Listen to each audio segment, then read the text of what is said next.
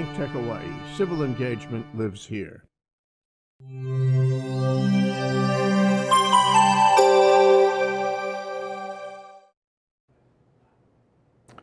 Welcome and aloha.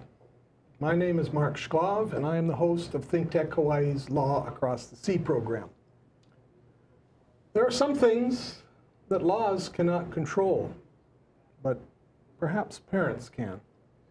This is especially true in the digital age. My guest today is Lauren Paer. In today's special program, Lauren will share the counterintuitive practice that Silicon Valley executives use to give their own children an edge in today's overwhelming and constant technological environment. This is kind of a secret that these Silicon Valley executives have.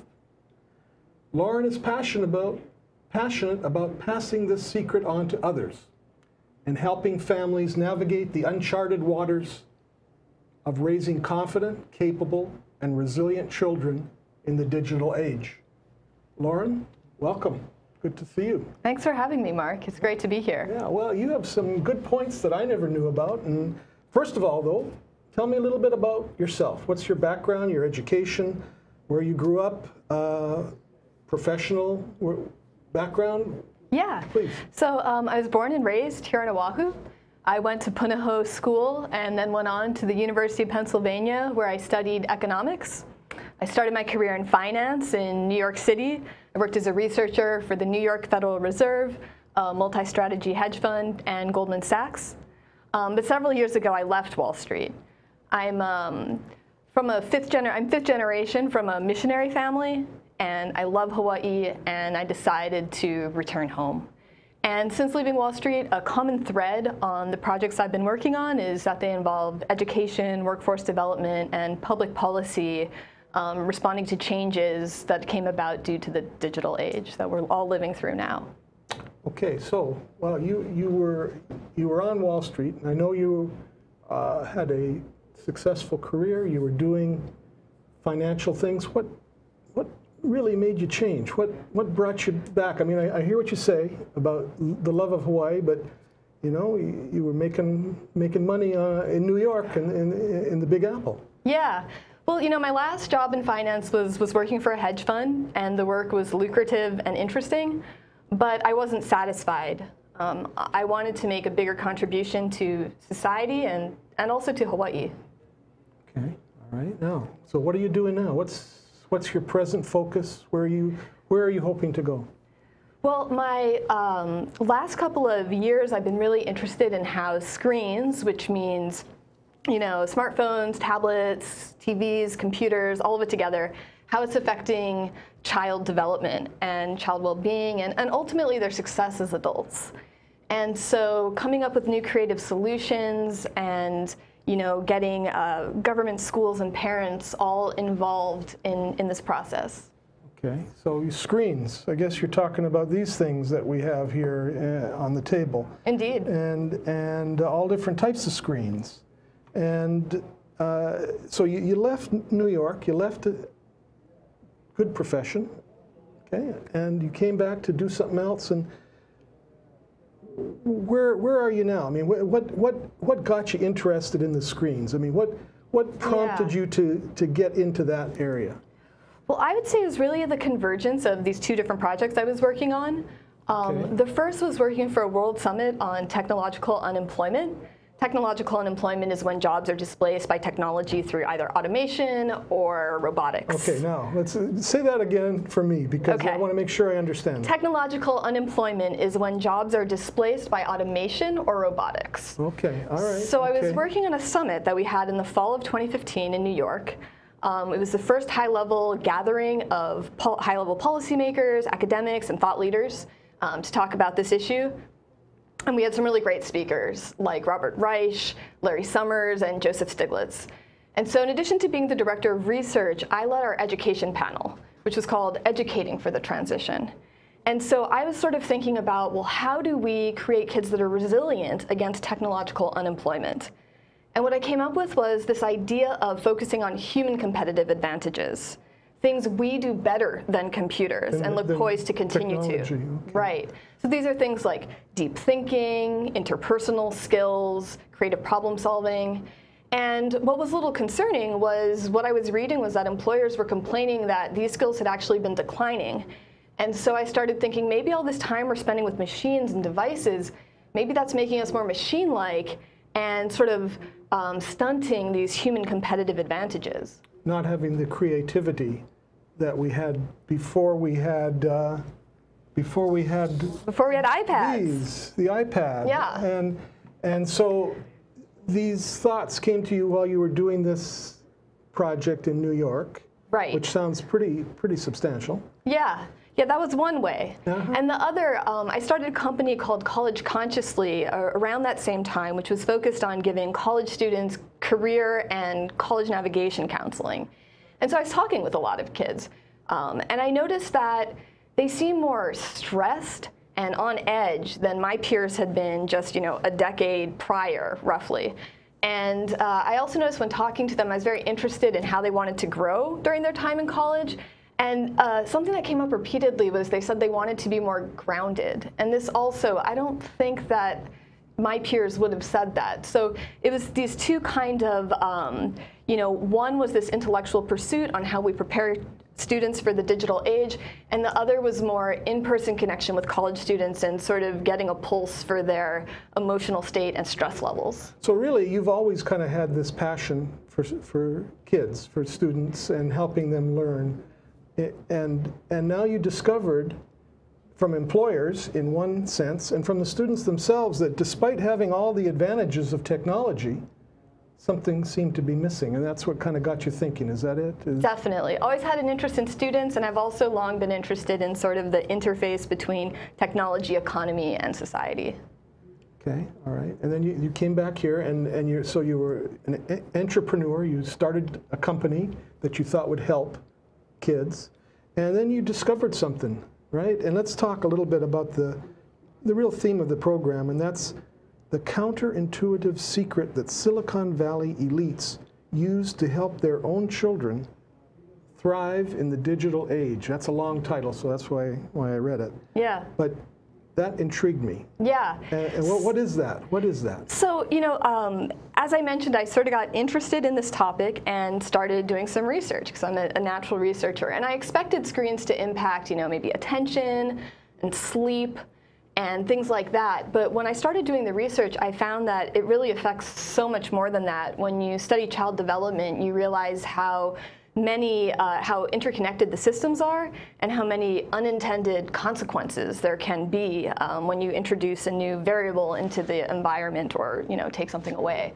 And things like um, kids' vestibular systems, which is like our balance systems, are less developed these days because they're spending so much time like this and not with, moving with around. one of these things in front of them. Exactly, versus like moving around. And and who knew, right, that uh, underdeveloped vestibular system, that has implications for your reading ability and your emotional control and even your ability to pay attention. And just So- walking. I mean, uh, in a well, way. that, that too, and that yeah. too, right? Yeah, yeah. But it has all these unintended consequences. And at first, honestly, I started like doubting myself because I was seeing all of these ways that children were being affected. But this was two or three years ago, and it wasn't in the media very much. Mm-hmm. So it's like, if it's having such a profound effect on kids, why aren't we talking about it? And Am I creating like a, an echo chamber, you know, like a biased research bubble?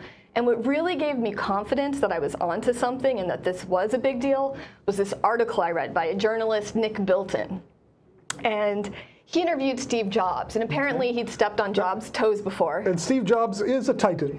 He surely Titan. is, yeah. Okay. He- um, and so he'd stepped on Steve Jobs' toes before, and so he was asking him a softball question to butter him up, right? And he said, Your kids must love using the iPad.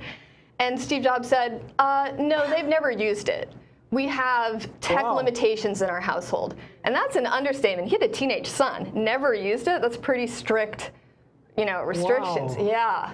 And so that's what Nick Bilton said. He was surprised, but then he realized, you know, he talked to other of these high level executives on Silicon Valley, what I call the Silicon Valley elite. And, and thought leaders there. And this was actually a common practice. Steve Jobs was not the exception.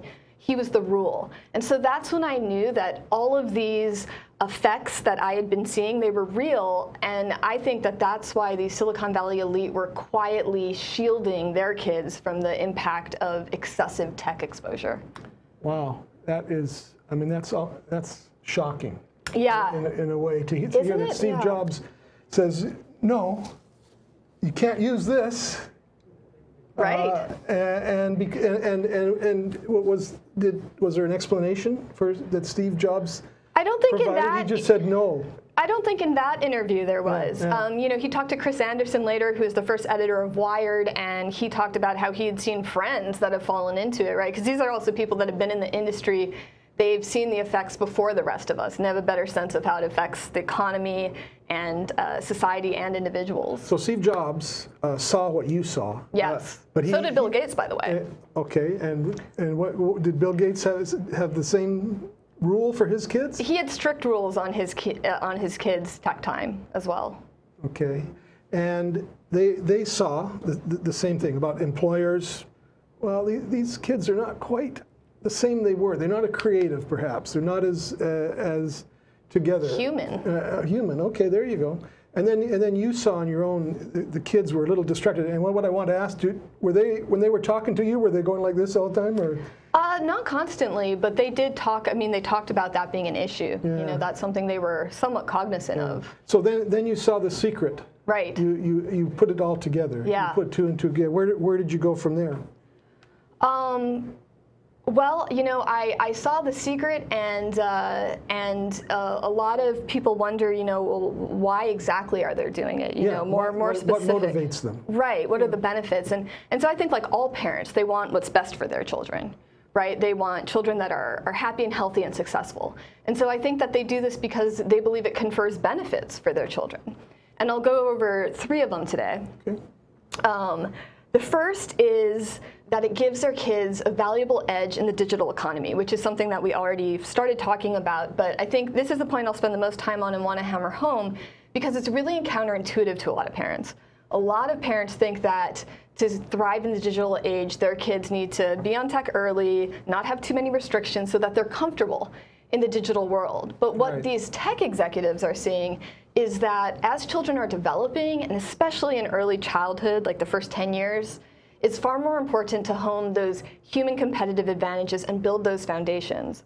And that actually too much exposure to tech early stunts the development of it. That's very interesting because I know young parents who are saying, I want to get my kid knowledgeable as soon as possible, and the, and the little, little children are on their machines or on their technological. Uh, It's the number one pushback I get from parents, right? It's like, but they're going to live in a digital world. Don't they need to know this stuff? they, and they do this. But, but, but the motivation behind the think tech, I mean, behind the technology giants is that we want our children to have a little bit of huma- humanity. Uh, humanity, and those are also valuable skills. Again, these are what you know employers want, and so things like deep thinking are undermined by the constant distractions that tech bombards kids with, and, and adults for that matter. Um, empathy, you know, they've done research where they take just screens away from kids for five days, and they score significantly better on reading nonverbal cues than they do prior to their break. And things like problem solving, things that I learned studying child development, a lot of the foundations for that are from unstructured play. And as screen time has gone up, free play has gone down. Um, and you know, something else, like I know a lot of people out there are probably thinking, well, I can't argue that um, empathy and problem solving are, are good, like clearly they are, but what about these tech skills that are so in demand, like coding?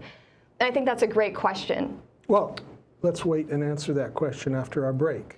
Okay? And, Sounds good. And, and also, uh, I, I do want to uh, also hear more about these tech billionaires. And, and I, I, want, I may ask you why they keep it a secret. Okay?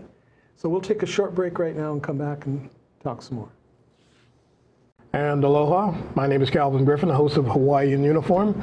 And every Friday at 11 o'clock here on Think Tech Hawaii, we bring you the latest and what's happening within the military community. And we also invite all your response to things that's happening here.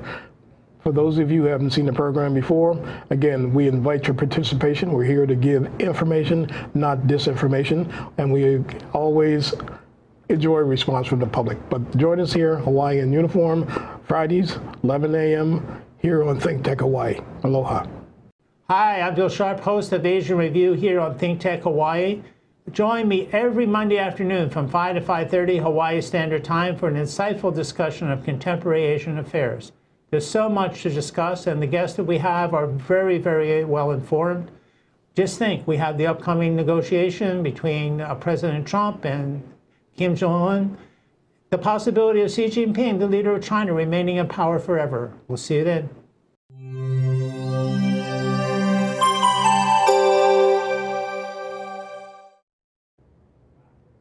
We are back with Lauren Paer talking about the secrets that the tech billionaires have and are the, the, really the secret that they have and that they use to help their children be successful in the digital age. And we left off, Lauren, you were talking about some of the benefits and motivations, so please continue.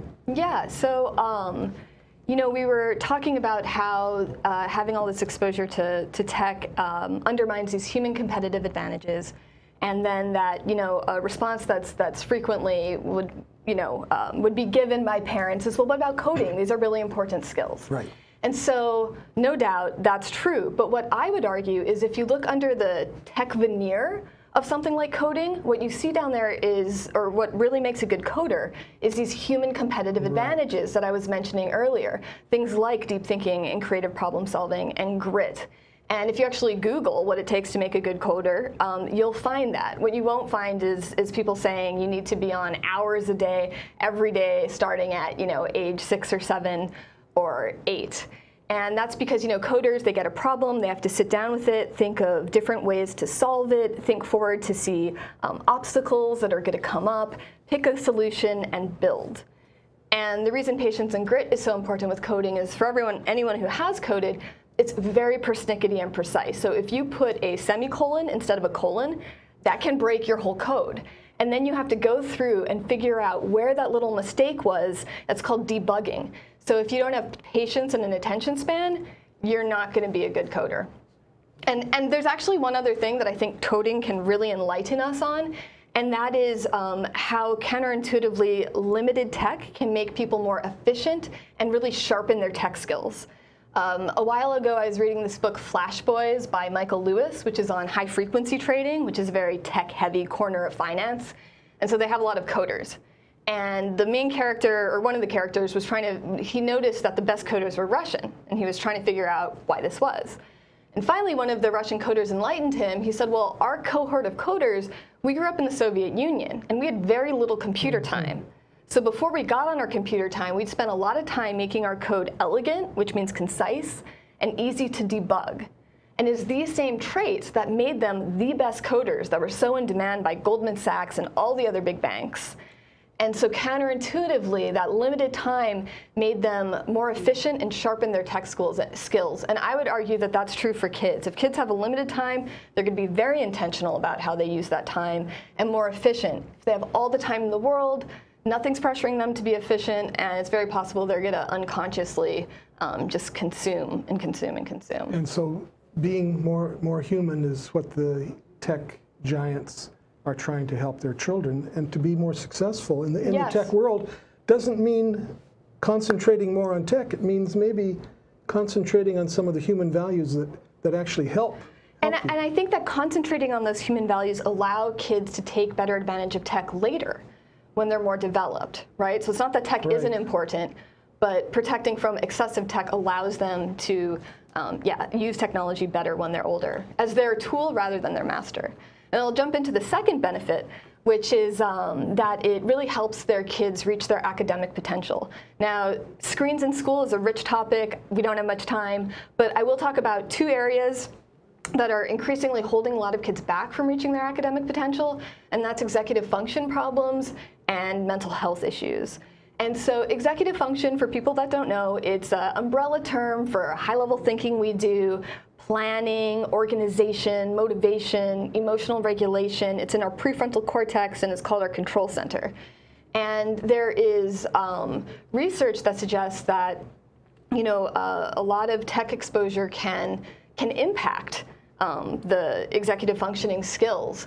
And it's actually everything that affects attention affects executive functioning, you know, and I, I also think it's kind of concerning the there's been a bit of research on video games, and they find that um, heavy gamers have less gray matter here in the prefrontal cortex.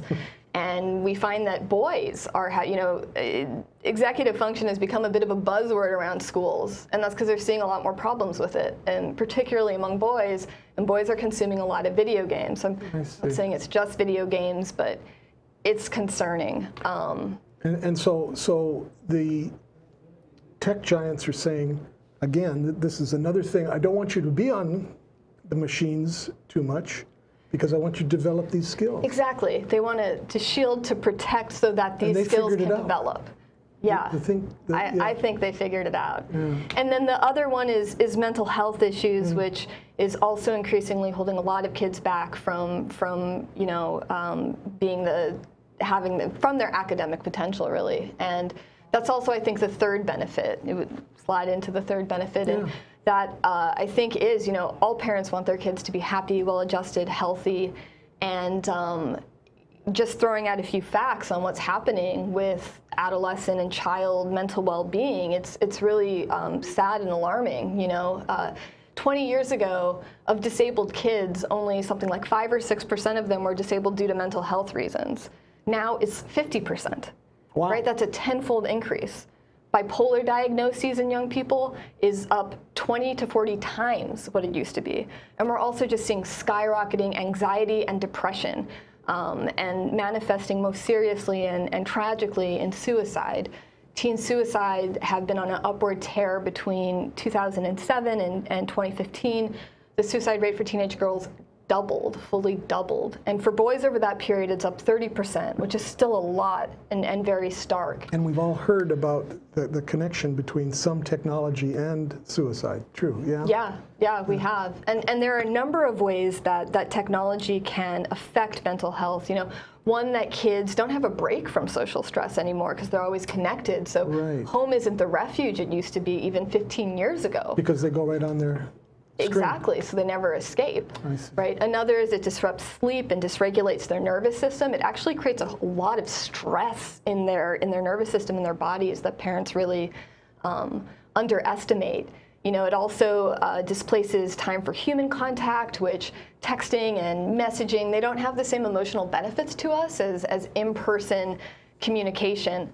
And, um, and there are a few other ways that it affects too. And I'm not saying it's 100% responsible by a long shot, but I think that there's more than enough evidence to act. And to me, it seems like at this point, the burden of proof is that it doesn't cause harm. And uh, not, not that you should have to prove beyond a speck of doubt that it is causing harm. And the tech uh, elites seem to agree. So, uh, so your position is you, you, you've seen some, you, you feel there's a connection uh, between the technology and things that are not um, helping. And I've read develop. research that, that suggests there's a connection okay. as well. Okay, and and uh, there's probably good and bad involved in technology. We'll agree on that. Yeah, and that's kind that's of true. what you're saying. Uh, and one, one um, really quick thing I'll interject too, you know, if, if people have kids that have behavioral issues or, or psychological issues and, and they think it might be connected to screens, digital fasts um, can really turn kids around. So it's not all, okay. you know. Let, us talk a little bit about that. So you, you, you say that uh, these tech billionaires, executives, these guys who developed, you know, things, uh, Steve Jobs, right. those folks, they're telling their children, uh, let's lay off this so much. Right. Okay. Uh, what benefits, or how, how, do you, how do you tell parents nowadays to do that? Or, or how, how do parents nowadays do that same thing? What, what, what, what tips can, well, you, can you give them? Yeah, I mean, as far as tips, I would I would suggest two uh, mindset tips, and maybe I'll, I'll throw out three tactical tips.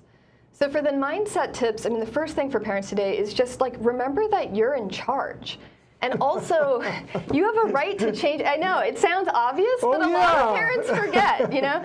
And also, you have the right to change your mind based on new information on what you think is appropriate screen time. You know, so that's really important for parents to remember. Second, I encourage parents to think about it as a family solution And what this really does is help kids buy in. And by family solution, I mean that the parents' habits are on the table too. They got to be involved too. And Exactly. It's not just the kids. Exactly, I see. because kids complain and complain about parent hypocrisy, right? The parents are saying, you can never be on, but the parents are always on themselves. Right. And on top of that, to be honest, uh, modeling behaviors is the most potent way of learning. So if you're on all the your phone all the time, your kids are going to pick up on They're that. going to see that. They're going to see, and, and it's going to affect them and how they act. But conversely, if you are non defensive when you're talking about your tech habits and you try to make changes, that's also going to affect them. It's going to make them easier for them to do it as well. And, and I think that through this idea of family solutions, you can really um, make it something that draws the family closer versus something that uh, is constantly creating conflict. As far as the three tactical tips, um, the first I would say is taking away your uh, kids' devices at night. Take them away at night, uh, ideally two hours or so before they go to bed. So they're under the covers. Yes, they don't have the prefrontal cortex development to self-regulate, and they will go on. It will ruin their sleep, which uh, you know affects every other aspect of development. I would also suggest some some um, articles will tell you you can like leave them in common spaces like the kitchen or the living room. I say keep it in your room because I've talked to multiple parents where the kids sneak it if it's so don't risk that. Um, the second thing that I would say is that uh, download a tracking app for yourself and your kids, something like Moment, um, just so that most people really underestimate how much they're on their phones and how much their kids are on their phones. And I, I would sort of tack that as a habit onto the first one when your kids check in their phone for the night. Look over with them. Just spend two or three minutes so that they're cognizant too of how much time they're spending on their phone. And actually, you don't even need Moment if you have an iPhone and do it every night. Uh, if you go in the settings, battery, it will show you for the last 24 hours how much time you've spent and on what apps Okay. you're on. So that's that's the second piece of advice. And last, And the last one I would say is, you know, schedule like a family fun activity that's screen free once a week. That Go makes for it a more positive. Exactly. go for a hike, Without go to the your beach phone. without your phone. Or yeah. you know, one parent can have it as a timepiece, but yeah, a, the, a rule with like no tech see. allowed. And, um, and if it's terrible weather or you just can't motivate that day, then play a board game or a card game. It's, it's really important for kids to, to have family fun, and that's sort of a more positive way to interject positive family experiences versus always being about limiting and restricting. I seem to remember when I was a kid, that's what we would do. Uh, now, Right. you know, in, in the in the, the the the minute we have left, tell me what your thoughts are and where you want this to go. What's your vision? Oh, minute is, is tough for that. But um, yeah, so you know, my vision is um, that government can play a role in uh, funding research and getting you know public health uh, education out there. But I think the most important role is the family. Everything starts at home. And that this can really, there's a way to address it where it makes the family closer and doesn't have to create a lot of conflict. I also really want to see more collaboration between right beneath the family is school because kids spend so much time in school. They're so affected by their peers. So I want to see schools and families working together to create um, you know, more positive tech and media cultures in the schools. And personally, I've been working on a few um, concrete solutions for parents. Um, the first is a parent mastermind. This idea is that uh, I'll get a small group of parents. We will meet weekly for a month. Um, I'll have a mini lecture. We'll have a discussion where everyone gets to talk about what's worked and hasn't worked for them. And, uh, and over the month, each parent will have one opportunity to be on the hot seat where they'll be able to bring a specific question to the group, and me and all the other group members will focus on helping them solve that problem. As far as I'm aware of, this has never been done before. Uh, a number of parents have been really interested in this and asking for this. And so, um, if anyone out there is interested, um, please email me. We'll be putting our, my email up. Okay. And, uh, and let me know, and I'll put you on the list. And also tell me how old your kids are. Okay, quickly, the second solution that uh, I'm working on is a solution guide. It's compiling solutions from uh, different sources that I've been researching parents, books, articles. I think of it as a menu that parents can pick from to create a system that works for them. Um, it will go over uh, things like other things you can do other than uh, being on screen time, which is a huge question I get asked. You know, how to set up a screen time contract, which I think is a great um, solution for parents. Some of the best apps. Uh, ways to mitigate, um, you know, kids' uh, resistance and to get them on board. And so um, that is a, Okay. a early bird uh, price of $35. So You can email me if you're interested in All that right, too. Lauren, I really. And I, there's one more thing I have to say, Mark, which is that I'm the last thing I'm doing, and I'm sorry if it's going over, is that um, uh, doing some sessions with parents uh, on screen time. And for people watching, I'm going to give away 10 half an hour sessions for parents. We'll go over a specific question or, or challenge they have with screens and come up with practical, um, actionable solution points. Lauren, thank you very much. I learned the secret and I am glad to have it. Thank you very much. Aloha. You're welcome. Thank you, Mark.